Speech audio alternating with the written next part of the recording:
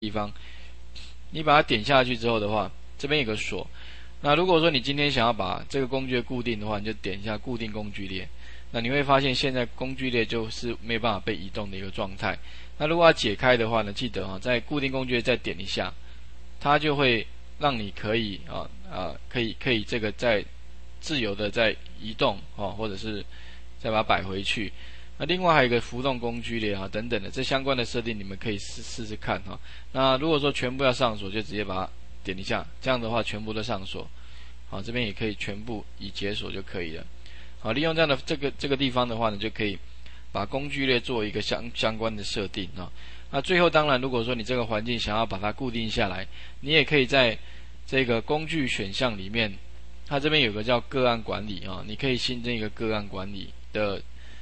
呃，一个新的一一个一个名称，那以后的话就固定这个个案，甚至这个个案管理这个界面呢，也可以汇出汇入啊，在不一样的环境可以设定一样的界面。